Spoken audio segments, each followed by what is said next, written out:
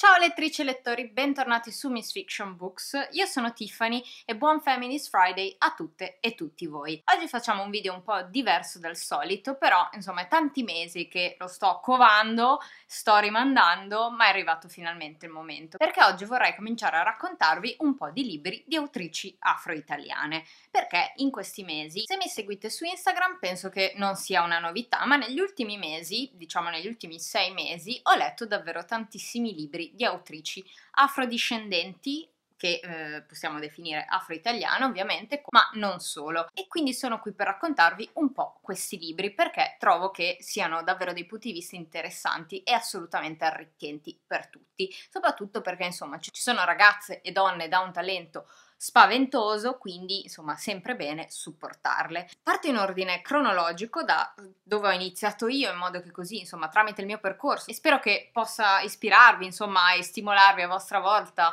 incuriosirvi ad approfondire queste autrici meravigliose. Nel corso degli anni io avevo già letto diverse opere, soprattutto di autori mi sono resa conto, autori afrodiscendenti, eh, quella che viene definita eh, narrativa migrante, no? Di persone che abitano in Italia Italia eh, hanno origine non strettamente italiana, ma magari sono figli di seconda generazione, eh, sono eh, migranti essi stessi, eccetera, eccetera. E perché mi ha sempre incuriosito un po' la definizione della propria identità, no? E questo è un tema che è stato estremamente portante per un sacco di anni,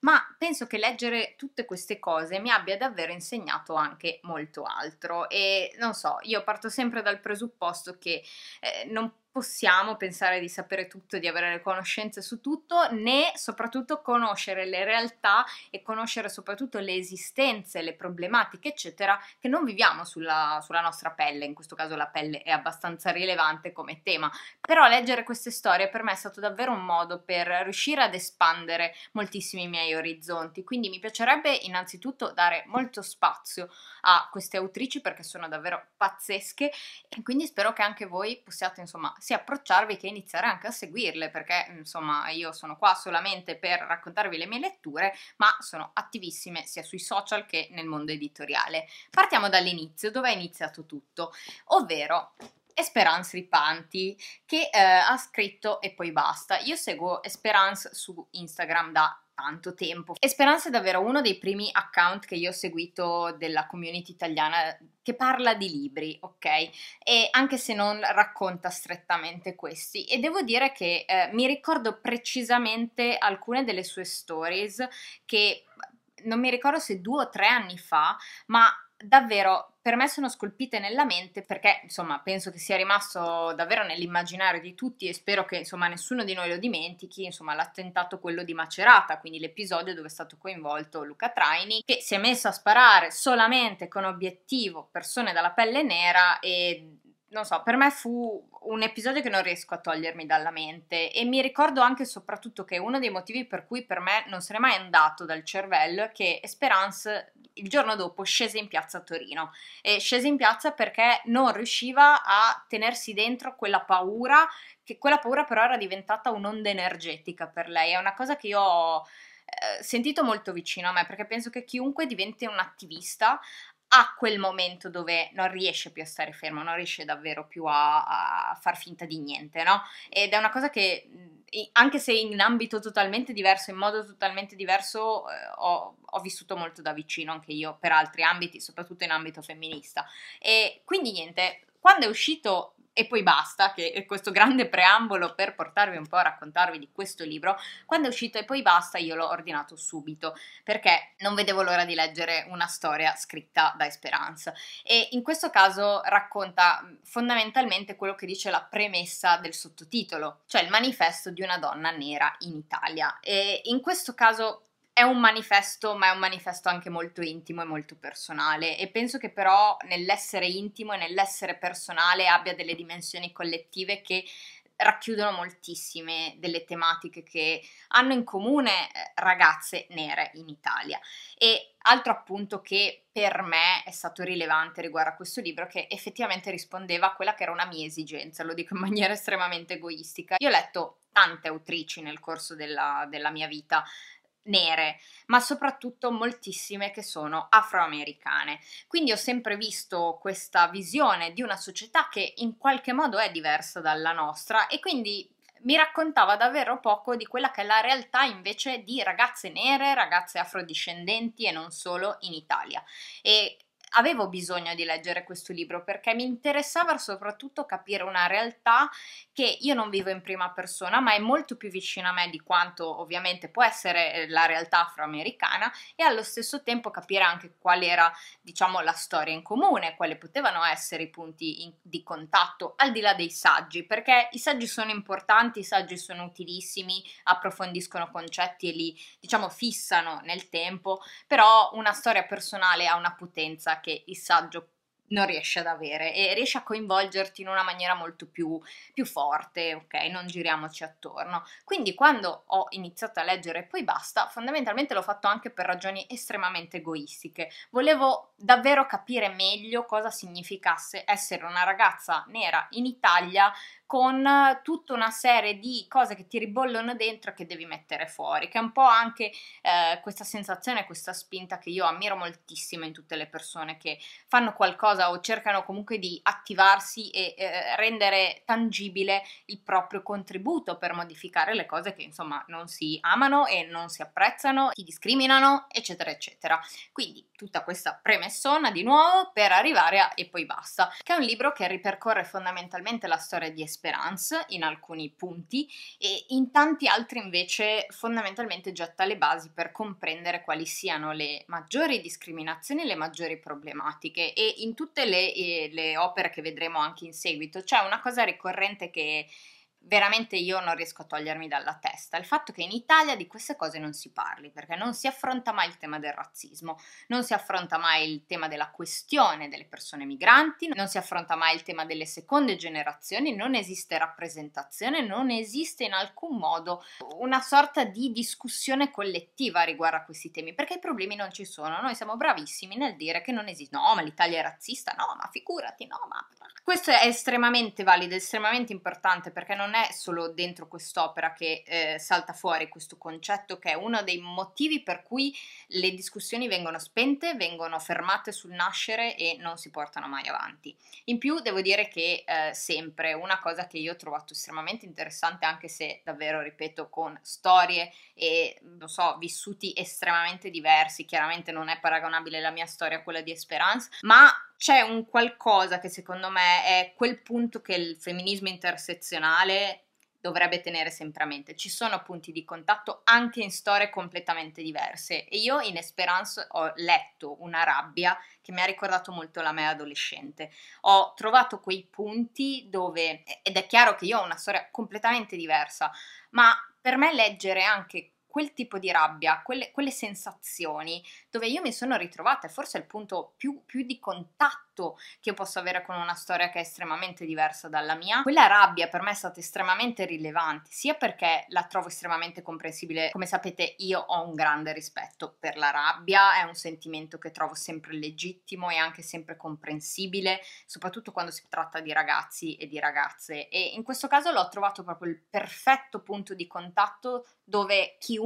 si può rivedere, anche se poi bisogna ascoltare soprattutto ciò che è una narrazione che non ci coinvolge. E è strana come dinamica, però è stato uno dei tanti libri che mi ha messo di fronte a questa prospettiva. Da un lato abbiamo un punto di contatto molto simile, ma poi eh, bisogna ascoltare semplicemente, bisogna semplicemente assorbire, recepire e sostenere eh, un tipo di storia come questa. Speranza dice che voleva uscire dal suo groviglio, no? Allora, ti chiedo solo questo, è la premessa del libro. Racconta questa mia paura insieme trasformiamola in forza. Io credo che sia semplicemente il resoconto di quello che è e poi basta. È davvero utilissimo. Chiaramente non è esaustivo nel raccontare tutte le donne nere in Italia e le esperienze di tutte le donne nere in Italia, ma è sicuramente uno dei punti di partenza che consiglierei a chiunque. Come lo è stato per me è stato molto utile, quindi insomma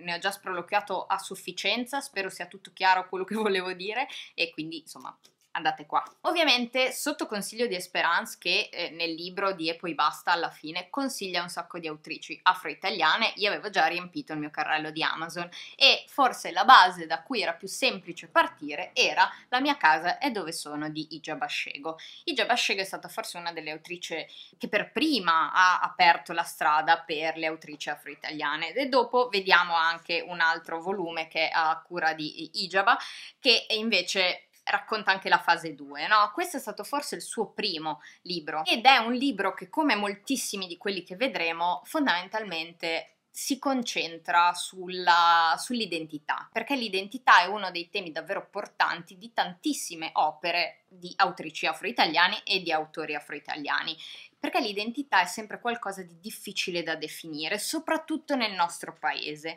E in questo caso quello di Ijab, a parte che io mi sono innamorata della sua scrittura perché è veramente divertentissima, molto scorrevole, mai banale, con eh, insomma io davvero ve la consiglio moltissimo. Soprattutto vi consiglio eh, la mia casa dove sono se volete comprendere molto a fondo cosa significa avere un'identità così complessa, un'identità che non può essere definita semplicemente italiana, semplicemente nera, semplicemente somala, semplicemente una cosa, perché l'identità è fatta davvero di tantissimi elementi e in questo caso io penso che Ijaba lo riesca a rappresentare in una maniera chiara e universale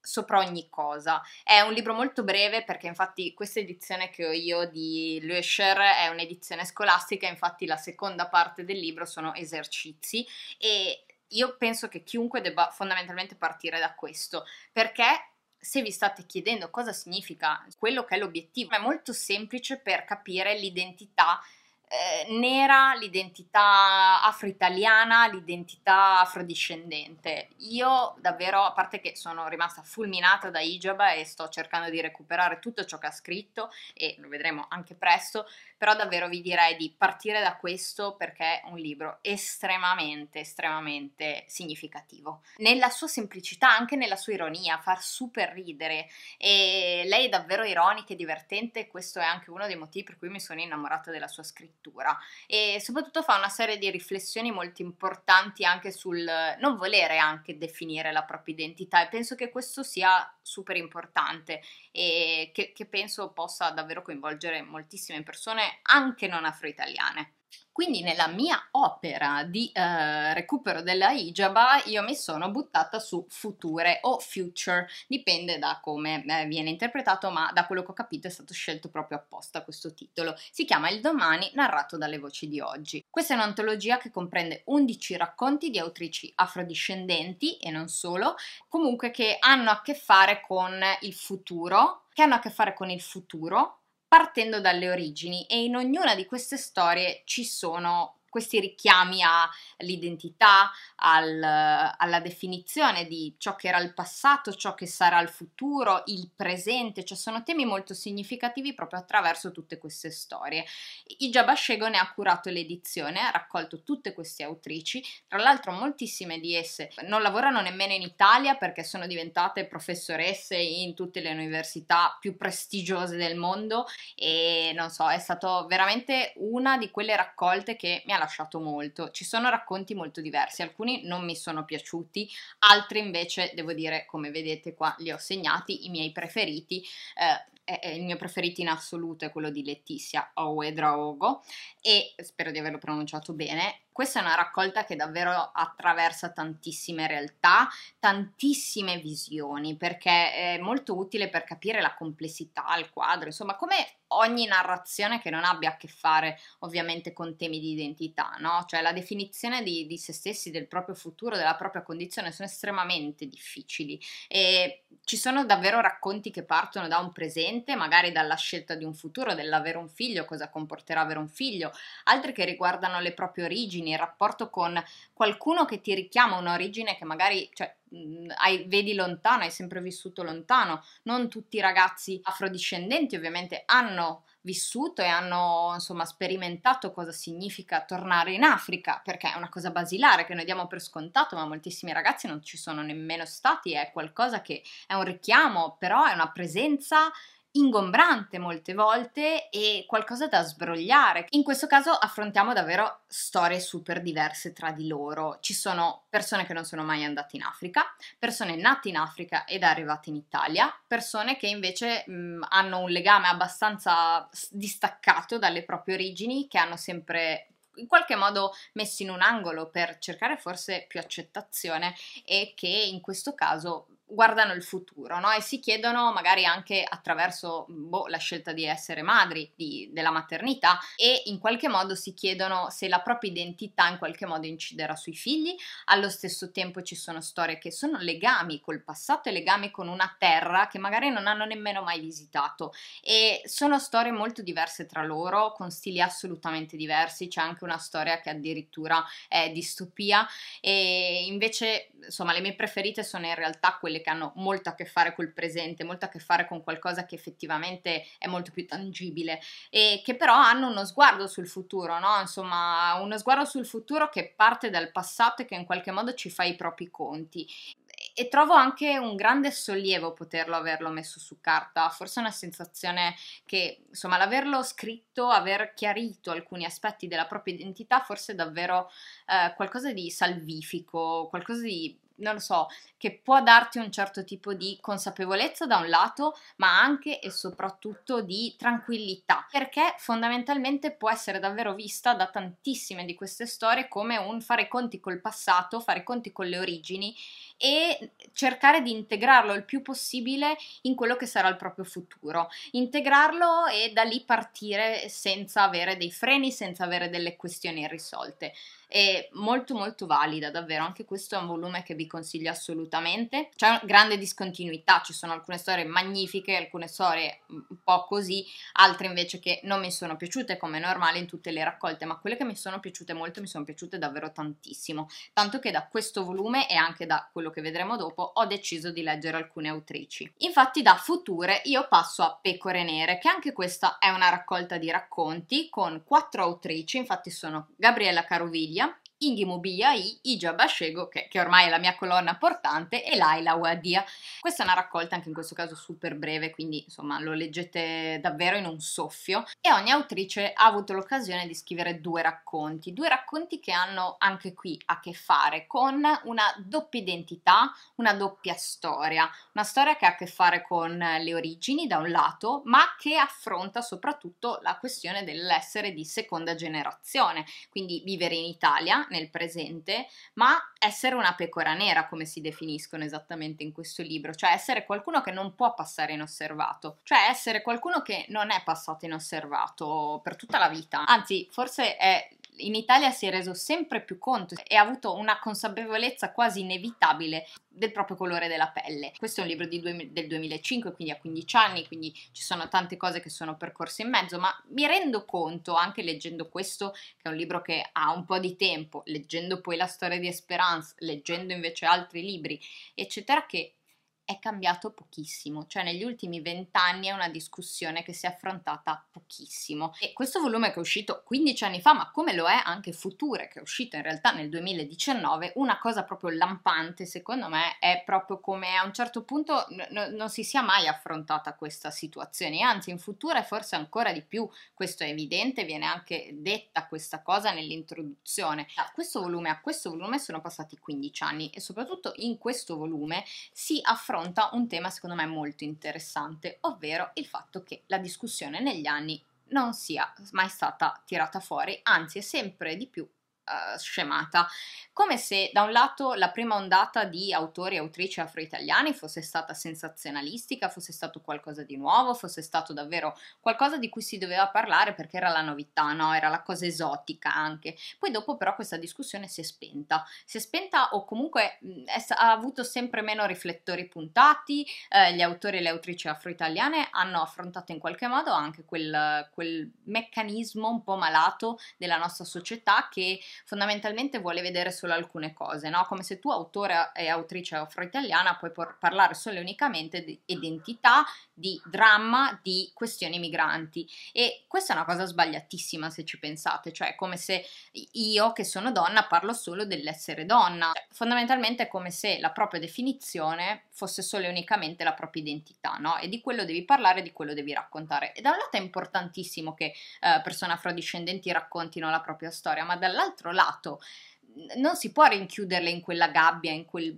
quel, giardinetto dove o parli di questo non mi interessi. E più secondo me anche l'interesse in generale per questi autori è decisamente scemato. Però passiamo avanti e torniamo a parlare di Pecore Nere. È un libro che ho divorato anche perché qua invece entra tanto in gioco la famiglia, entrano tanto in gioco questioni più intime e personali, no? l'ambiente domestico e la propria storia si mescolano molto bene e questo per me è stato molto interessante, molto utile per capire soprattutto anche cose che io non vedo, no? Ci sono storie molto diverse tra loro, ma in realtà hanno molte cose in comune. Eh, la prima, che è quella di Ija Bashego, eh, racconta dell'avere tante valigie in casa, no? Come se la situazione della migrazione fosse qualcosa di temporaneo. Questo è un suo ricordo da bambino, no? Come se la, insomma, il fatto di avere sempre le valigie for- pronte ti dice a un certo punto si ritornerà in Africa, molleremo tutto quello che abbiamo qua perché fondamentalmente è solo temporaneo ed è un po' una sensazione che secondo me è anche imposta dai fattori esterni, cioè il fatto di non sentirti mai e non farti mai sentire come se sei arrivato, questa è la tua realtà, è qua che potrai costruire la tua vita. E è stato molto interessante, soprattutto vedere come le dinamiche familiari siano completamente diverse, ma a un certo punto abbiano questi punti in comune, no? C'è questo mal d'Africa da un lato, eh, perché è una cosa che hai ma non hai e ce l'hai sempre dentro, ma fondamentalmente forse non l'hai mai toccata, non l'hai mai vissuta a pieno. Ed è un po' la storia che raccontano tantissime di queste autrici. Eh, io di queste ho preferito tra tutte, oltre a Ijaba, che vabbè è già un amore per quanto mi riguarda, Laila Wadia, dopo questo volume. E infatti è arrivato Se tutte le donne. E Laila a me piace tantissimo come scrive, ha veramente uno stile che, che, amo ed è molto semplice, eh, non, non, arricchisce, non, non, non, si sofferma nel dover abbellire tutto, è veramente da un lato un po' asciutto ma sempre preciso, sempre proprio dritto come un fuso e quindi io adoro. E in questo caso, anche qua, raccolta di racconti però della stessa autrice. È un libro davvero molto, molto interessante perché racconta eh, non solo di donne ovviamente afrodiscendenti, ma racconta di una serie di realtà che hanno e accomunano le donne, cioè esistenze che fondamentalmente ti mettono di fronte a una serie di fratture, a una serie di complessità e eh, soprattutto a ciò che affronta un po' tutto l'universo femminile e ha affrontato. Cosa significa anche in qualche modo essere una donna nel mondo di oggi o più o meno nel mondo contemporaneo, perché ha un po' di anni, però insomma è un libro molto recente. Ci sono storie veramente che mi hanno presa tantissimo, eh, molto diverse da loro, fate conto che si passa da una donna benestante, moglie di un ambasciatore, a una madre palestinese, fino ad arrivare, non so, a rifugiati politici, eccetera, eccetera. È una raccolta che ha molto meno a che fare ovviamente con l'identità afrodiscendente e quindi per questo insomma volevo fare anche un po' un salto verso non solo ciò che parla di identità afrodiscendente ma insomma quello che vi dicevo anche prima, autrici afro-italiane, in questo caso Laila, eh, che affrontano proprio invece altre cose, altre questioni ed è stata una boccata d'aria perché veramente scrive in una maniera che a me piace moltissimo. È diventata davvero una delle autrici che anche in questo caso voglio recuperare, spero di recuperare il più possibile perché mi piace moltissimo il suo stile. Quindi questa è proprio l'ultimissima raccolta che ho eh, letto e insomma il mio viaggio di esplorazione tra le autrici afro-italiane per ora con questa prima introduzione eh, finisce qua. Spero di avervi raccontato un po' i motivi soprattutto per cui mi hanno affascinato affascinato moltissimo queste storie e le complessità di tutta questa narrazione che trovo davvero utile, davvero necessaria da un lato e anche insomma, vedere tutte queste voci diverse e leggere storie che davvero secondo me non hanno solo a che fare con l'afrodiscendenza e con l'identità, ma soprattutto, insomma, la voglia di definirsi come autrice penso sia qualcosa che chiunque di noi possa comprendere al di là di ogni, ogni barriera, ogni cosa, ogni pregiudizio, eccetera. Quindi insomma volevo iniziare a parlarvene perché io ne sto leggendo parecchie di autrici afro-italiane e non vorrei relegarle mai solo al fatto che siano autrici afro-italiane, però dargli un po' di spazio penso sia una cosa sicuramente utile e un punto di partenza, perché insomma non ne ho trovati molti di video che parlavano di questo argomento invece è qualcosa che io ricercavo, volevo un sacco di consigli. Come vi ripeto, in E poi basta di Esperance Ripanti trovate una bibliografia molto interessante se volete approfondire autrici e io sono qua, insomma, spero di avervi fatto un'introduzione che, e che possa aver stimolato in qualche modo la vostra voglia di leggere e di approfondire. E niente, io direi che per oggi il Feminist Friday finisce qua, spero che insomma anche questo video sia stato interessante di avervi tenuto compagnia, ricordatevi che il Feminist Friday continua sempre anche su Instagram dove se voi postate una foto usando l'hashtag Feminist Friday io lo riposterò nelle mie stories, insomma sono molto curiosa di vedere come sempre tutte le discussioni che ne nascono. Quindi niente, direi che per oggi è tutto e noi ci vediamo per questa rubrica prossimi venerdì e invece per tutto il resto al prossimo video. Ciao!